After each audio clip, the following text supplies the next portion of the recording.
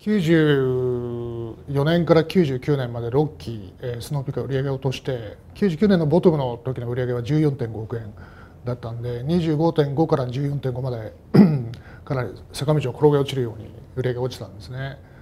で理由としては、えー、っと2つあったと思いますけれども、まあ、1つはまあブームが去ってしまったというところでで2つ目はですね、まあ、人口構成比の、えー、問題があって、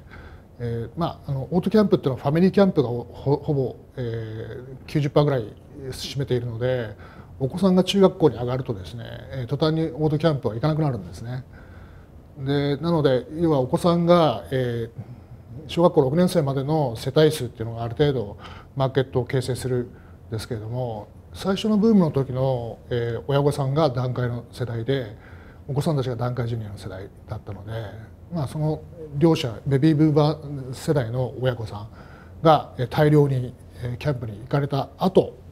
えー、まあ人口のくびれがきますので、まあ、人数的にも多分減ったんだと思いますしその2つが気にしてると思いますね。僕自身はそんなに、えー、もちろんその売り上げが落ちることは、まあ、良くないことではありますけれどもそんなに深刻に考えてなかったんですけれども、まあ、ただ、えーまあ、このまま、えー、ほっとけないなということはすごく思っていて、えー、なので、まあ、その自分たちのその事業の、えー、存在理由が何なのかとかじゃあ我々のそのビジネスのやり方がそれでいいのかとか、まあ、そういうことは、えーと、もちろん考えてましたけど98年の年にキャンプのイベントを始めました。えーまあ、スノーピークのミッションステートメントの名前がザ・スノーピークウェイという名前なんですけどもそれと同じ名前のスノーピークウェイというキャンプのイベントを98年の10月に初めて開催したんですね。でそれまでももちろんそのブランドメーカーなので B2C の、まあ、ビジネスではあったんですけれども、まあ、正確に言うと B2B2C みたいなで我々がコンタクトしてたのは問屋さんだったりとか小売店さんで、まあ、ユーザーさんと直接お話しするようなことはなかったんですね。自分たちがユーザーとして開発はやってたんですけれども、えー、実際にそれを使ってらっしゃるユーザーの皆さんと、えー、我々が直接お会いしてお話しするようなことはあまりありませんでした。で98年のその10月のイベントでで初めて、えーまあ、消費者の皆さん、えー、後にその人たちはスノーピーカーと呼ばれるようになっていくんですけれども、えー、そのスノーピーカーの人たちと初めてキャンプを、えー、ご一緒させていただいたんですね。でその時に、えーまあ、我々に対して、えー、強いフィードバックが2つありまして一つはあのスノーピークの製品が非常に高いっていうことを、えー、全員がおっしゃいました。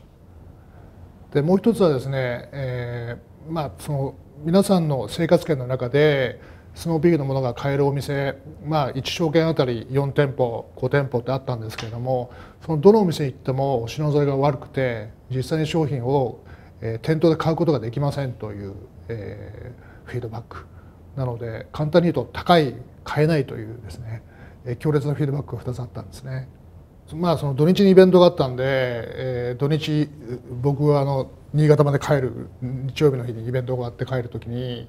まあもう最終的にこれは腹をくくらなきゃいけないなと思っていてでそれまでまあ売り上げも、えー、5期ぐらい落ちてましたんで、まあ、今のままのビジネスの継続していくことはもうできないなと。で薄々やらなきゃいけないことについては考えていたんですけどもその最終決断をユーザーさんのフィードバックでしたんですね。で月曜日の朝礼で、えー、その次のですね、えー、社員の、えー、みんなの前で2000年のシーズンから、まあ、99年のシーズンのビジネスはもうその時点で契約が終わっていたので、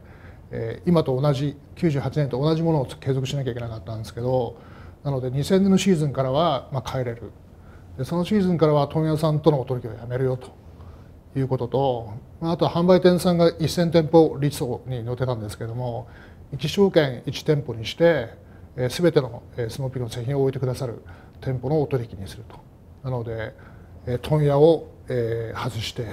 お店も4分の1に減らす。っていうようなことを決断して月曜日の朝礼で言いまし